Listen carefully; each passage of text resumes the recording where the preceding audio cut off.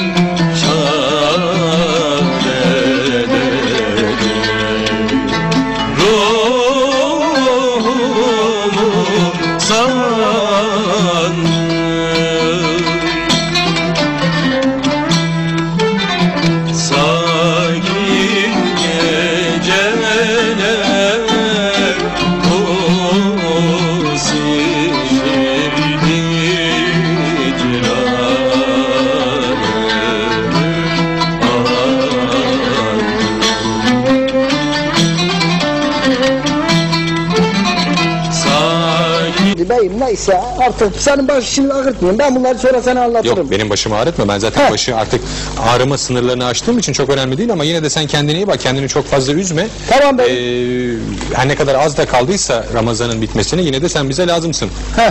Diyelim. Peki anlat bakalım şu hikaye ne var ne yok yani vakit bulursak anlatırız dedik ama sen istersen bana bir anlat bir hikaye et ya. ne oldu ne bitti Ya beyim anlatmayayım. Gel. sonra anlatayım diyorsun. Sonra anlatayım. Beyim, Peki sonra ben anlat. şimdi bakalım. O anlatırsam zaman sen git tekrar hazırlıklara bak. anlat. seni çok buradan meşgul durumda Peki bırakırım. sen git tekrar hazırlıklara bak ben de Nurettin Bey'le biraz konuşayım şu konak meselesini merak ettim. Aa, bu- bugün geç geldin Nurettin abi niye böyle yaptı? Canım onu müsaade et de ben sorayım Özcan E Efendi. beyim be- bizi böyle bırak bekletir bekletir sonra Sen şimdi her şeyin bir yeri var, bir zamanı var, her şeyi soracak bir insan var. Sanıyorum konuklarımız aramızda var. Git bak bakalım. Konuklarımız geldiyse bana hemen bir haber ver. Haber git. Hadi bakalım. Tamam beyim. Evet iyi Özcan Efendi bu sefer erken saldık başımızdan. Çok fazla bir zarara ziyana uğramadık. Beyim, Efendim Beyim konuklarımız geldi beyim. öyle mi? Kim Evet geldi? beyim. Milliyetçi Hareket Partisi Genel Başkanı Sayın Abbaslan Türkeş. Evet. Ondan sonra Altamur Kılıç Bey gazeteci yazar. Ondan sonra beyim e, Nazif Okumuş Bey gazeteci yazar. Bir de Yaşar abimiz var işlerinde Öyle mi? beyim. Hemen karşılayalım. Buyurun beyim. Efendim bu gece konağımızın ilk değerli konukları şu anda aramıza katıldılar. İzninizle ben hemen kendilerini karşılamak istiyorum. Buyursunlar efendim. Hoş geldiniz. Hoş bulduk efendim. Efendim şeref verdiniz. Hoş İyi geldiniz. akşamlar. İyi akşamlar. Ramazanınız mübarek Sağ olun. olsun. Buyurun efendim. Sağ olun. Altimur Bey hoş geldiniz. bulduk Şeref efendim. verdiniz. Hoş geldiniz. Evet, yaşamlar. Buyurun.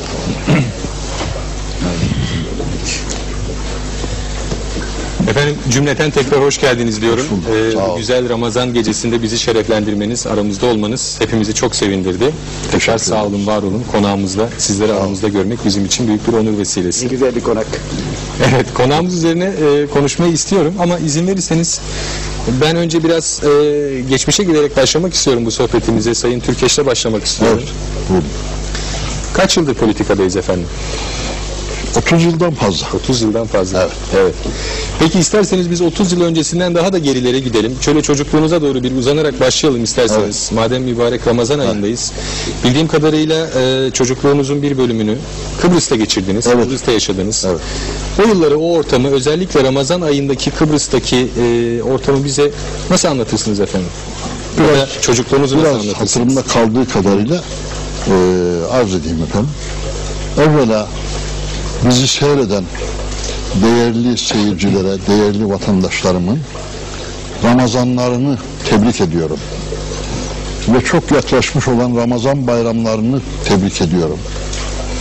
Ve bu vesileyle hepsine sevgiler, saygılar sunarak Cenab-ı Allah'ın hepsini çoluk çocuklarıyla beraber sağlıkla, mutlulukla birçok Ramazanlara, birçok mübarek bayramlara ulaştırmalarını niyaz ediyorum.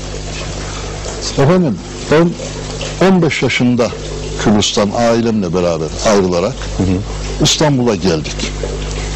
Ve e, Kuleli Askeri Lisesi'ne kaydoldum.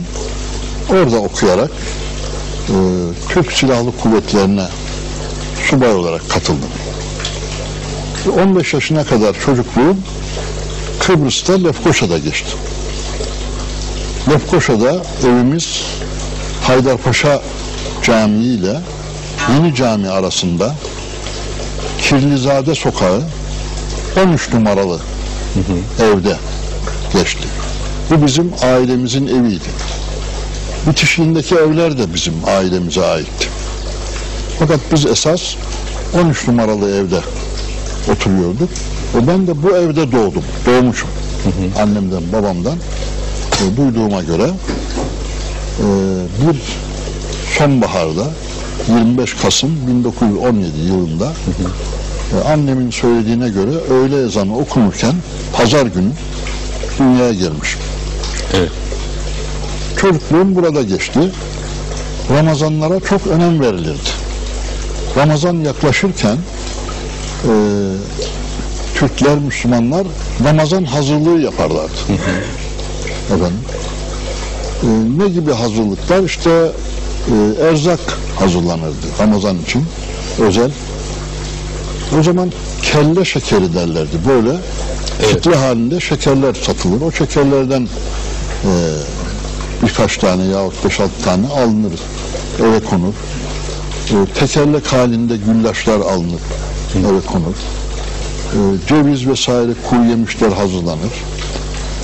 Başka diğer ne gibi erzak vesaire gerekliyse bunlar e, alınır, hazırlık yapılır Ramazan için. Efendim. Ondan sonra Ramazan başlarken e, herkes orucunu Evet. tutmaya niyet ederdi. Çocuklar da buna katılırdı. Biz de küçük yaştan zaten hevesleniyorduk. Herkes oruç tuttuğu için ve herkes sahura da kalktığı için bilhassa sahura kalkmaya meraklıydık. Onu tembih ederdik. Bizi uyandırmalarını bilhassa babaannem ben rica ederdik. Allah rahmet eylesin. O zaman kalabalık bir aile halinde Evet, yaşıyordunuz. babaannem yanılmıyorsam. vardı yanımızda. Annemiz, babamız, kardeşler aynı evdeydik. Ee, Ramazan iftar vakti top atılırdı. Topu böyle heyecanla beklerdik. Bizim evin üst katından e, minareler görünür. Tabii minareleri gözetlerdik. E, iftar saatinde topla beraber minarelerde ezan okunur ve kandiller yanardı. Onunla beraber tamam iftar vakti olmuştur diyerek iftar sofrasına koşardı. Ee, herkes bundan büyük bir zevk alır, heyecan duyardı. Efendim. Ee, camiler dolar efendim. Ee, teravih namazına kadın erkek herkes katılır. Kadınlar bölümü ayrı orada hanımlar teravih namazlarını kılarlar. Biz çocuklar da orada annemizle beraber giderdik. Teravih namazına katılırdık. Ee, Bayram yaklaştıkça heyecan artar. Özellikle Kadir Gecesi'ne ayrı bir önem verilir.